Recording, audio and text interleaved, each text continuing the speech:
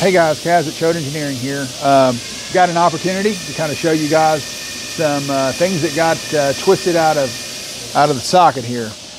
This is 11 to 16 rod for a uh, Ford F250, F350, 6.7 power stroke.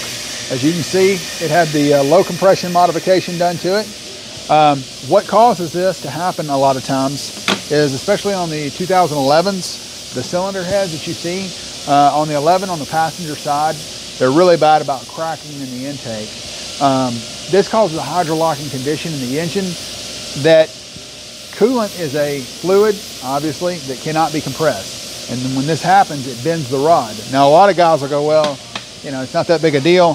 This happens on a lot of different engines. Anytime that you see rods bend like this, this is a, a uh, this is completely and totally related to um, cylinder pressure. Now that can be, like I say again, that can be because of uh, hydrolocking condition, or that can be because of boost, or that can be because in some cases, uh, but not this severe, exhaust back pressure being extreme. It won't be to this extent, but nonetheless, it will be bent.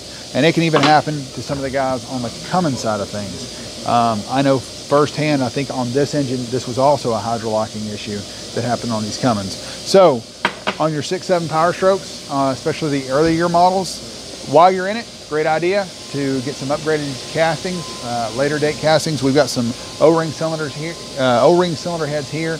Uh, they come with upgraded valves and uh, just give us a call and we can help you with that. So thanks for watching. See you next time.